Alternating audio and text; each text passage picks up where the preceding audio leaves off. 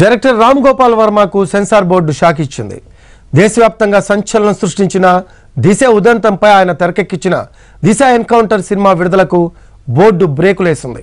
ఈ చిత్ర విడుదలకు బోర్డు బోర్డులోని మెజారిటీ సభ్యులు అభ్యంతరం తెలిపారు. దీంతో మూవీ రిలీజ్పై సందిగ్ధత ఏర్పడింది.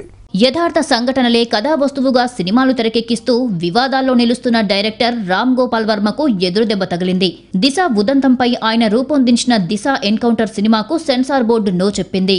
చిత్ర విడుదలకు అనుమతి నిరాకరించింది. మొదట్నుంచి ఈ సినిమాపై అంచనాలు క్రియేట్ చేసిన రామ్ గోపాల్ వర్మ ఇప్పటికే మూవీకి సంబంధించి పోస్టర్లు ట్రైలర్ విడుదల చేశాడు. మధ్యలో కోర్టులు కేసులు దాటుకొని త్వరలోనే విడుదల చేద్దామనుకుంటున్న సమయంలో సెన్సార్ బోర్డు పెద్ద షాక్ ఇచ్చింది. దిశ ఎన్కౌంటర్ సినిమాకు అనుమతి ఇవ్వడంపై బోర్డులోని మెజారిటీ సభ్యులు అభ్యంతరం తెలిపినట్టు తెలుస్తోంది. సెన్సార్ బృందం అనుమతి నిరాకరణతో సినిమా రివిజన్ కమిటీ పరిశీలనకు వెళ్ళింది ఈ నేపథ్యంలో ఎనిమిది సభ్యులు ఉన్న సెన్సార్ బోర్డు మళ్ళీ సినిమా చూడనుంది. అనంతరం సినిమాపై తుది నిర్ణయం తీసుకోనుంది. అయితే ఇప్పటికే దిశ ఎన్కౌంటర్ సినిమాపై దిశ కుటుంబ సభ్యులు అభ్యంతరాలు వ్యక్తం చేస్తున్నారు. దీనిపై పోలీసులకు కూడా గతంలో ఫిర్యాదు చేశారు. నిందితుల కుటుంబ సభ్యులు కూడా పోలీసులను ఆశ్రయించారు.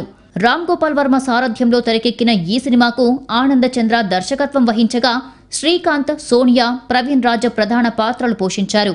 ఈ నెల పంతొమ్మిదిన సినిమా విడుదల చేయాలని నిర్మాతలు భావిస్తుండగా సెన్సార్ బోర్డు బ్రేకులు వేసింది.